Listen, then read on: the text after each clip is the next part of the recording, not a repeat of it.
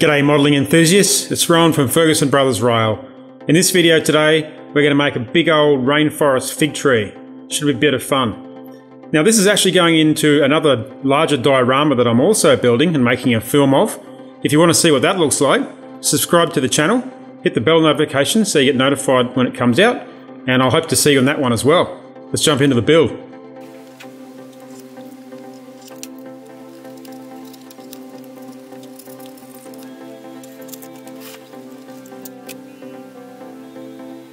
So what I'm doing here is creating a big fig tree, like the kind of thing you see in Southeast Asia.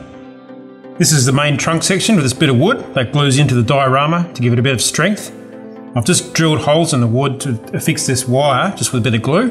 So I've got these bits coming out here that will form the roots, um, and I'll cover that with tissue paper and glue to get that nice sort of big fan sort of look you get in those trees. Now up the top here, these are, these are form the main branches, um, and I'll run some thinner wire around those to create the smaller branches that the foliage will glue onto. The main trunk and branch armature is made from thin wire. I'm modelling at 148, so if you were making this for smaller scales, you'd have to use thinner, more delicate wire. The idea here is just to bulk it out and add cylindrical volume. I'm going to start wrapping the trunk before I detail out the branches. It's just a 50-50 mix of water and white glue. The main thing is to keep it really wet. Just like paper mache, we need all the paper to have glue on it. Then brush it out smooth with a soft brush. I'm now moving back to the branches and adding finer detail. Painting on an acrylic gap filler to bulk out the detail and hide some of the wire that's still visible. I'm going to use the same mixture to soak some string which will form the vines. So you can see I'm just running the string up the side here and I've pulled the string apart a bit so I can use some of the thinner strands for the vines. For the gap filler, I'm just mixing it down 50% with water. You've got to make sure you get the acrylic stuff.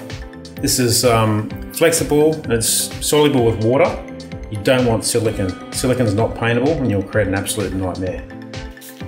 My approach to painting is loose to tight, dark to light. Even though I've used a lighter coloured primer here, we usually start quite dark and rough and work toward lighter highlights and more detail toward the end. The middle bit is just a whole lot of experimentation and adjustment. But you have to have a general vision. For this tree, I want bark that's reasonably light, a mixture of grey, and the green tinge of lush rainforest. Since vines are newer growth, they're often a bit lighter, and this is perfect for modelling because it adds visual interest through contrast. If you struggle to identify colour, you might want to try using some digital tools to pixelate an image. This can help identify general colours, even if you just use it as a guide. Bark, trees and water are good examples from real life where colour can be deceptive. Another thing I'm conscious of is overall palette. I want the forest part of this diorama to be really consistent, but I also need the tree to look distinct from the rocks behind it. I achieve this by ensuring there's enough warm colours in the paint. Colours like umbers, fawns and orange oxides will help here with the tree. Now I'm going to add a dark wash to emphasise the deeper cracks in the model. I'm using one part India ink, one part water and one part isopropyl, which really just helps speed up the drying. This will give the model more depth because it will create stronger contrast between the deeper darker sections and the higher lighter contours. This workshop vise is really useful for holding the model. Now onto the foliage. A few years ago I was scrounging around and found this synthetic fluff from an old dog bed cushion. I bagged the stuff and have been using it ever since. It's particularly good for smaller trees if you stretch it out. I'm going to use it here too since I want the canopy of my tree to look like a natural carpet. You'll see what I mean if you come back and watch the next film. If you don't have access to this stuff, you could use other fibrous type products like cotton wool or even steel wool, as long as you can tease it out. I'm gluing it with some green coloured glue simply because I had the stuff sitting on my desk. I typically use Mod Podge matte for glue since it dries with a matte finish. You really don't want shiny glue on your model. I'll then use a spray adhesive to start applying foam, then light a finer material to add contrast and a sense of light shining from above.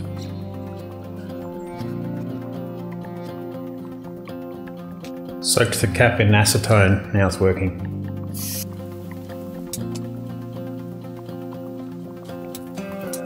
One of the things you'll notice in really good dioramas is control of attention. There's a whole lot of other things going on too, like the setting of intention. But with regards to providing viewers with a sense of intrigue and enjoyment, you have to lead them there using visual storytelling. After gluing the tree into place, it needs some blending into its environment. I had a couple of spare fake rocks lying around, so I've sliced these up to build up the riverbank. To add volume, I'm using a mixture of Sculptamold, Mod Podge Matte, and various coloured paint The benefit to colouring your Sculptamold for small areas like this is you don't have to mess around getting a paintbrush into tight spots. On top of this, if you need to stick things into it or mess up the surface, you don't have to worry about seeing bright white dust come up. There'll eventually be an animal sitting by the river, and to help viewers notice him, I include something bright in the scene to draw their eye. So let's grow some bright shiny mushrooms in the little clearing beside the tree. I found a few nails, and I'm just applying some gentle heat so I can manipulate the nail heads. A couple coats of bone coloured paint to the stems, then some bright red on top with white specks should do the trick.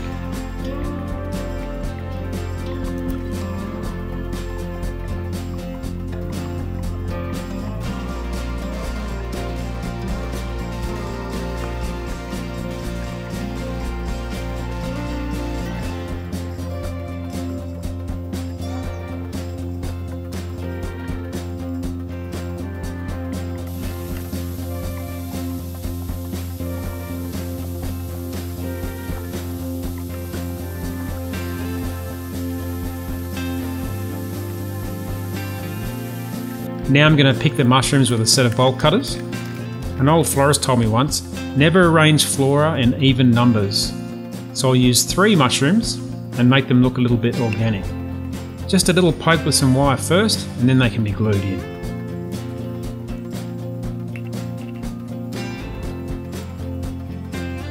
Well there we have it, a slightly unorthodox shaped tree Remember this is likely to have a clear box around it so the tree looks a bit strange only growing in one direction. If I was making this tree freestanding, I'd spread the branches more. Big trees also have a lot of lower hanging growth and at this scale I prefer to use some finer leaf mix which you can buy online for the foliage. I kind of like the idea of putting an eagle nest in here, so let's see if that makes the final scene. Don't forget to subscribe and throw me a like.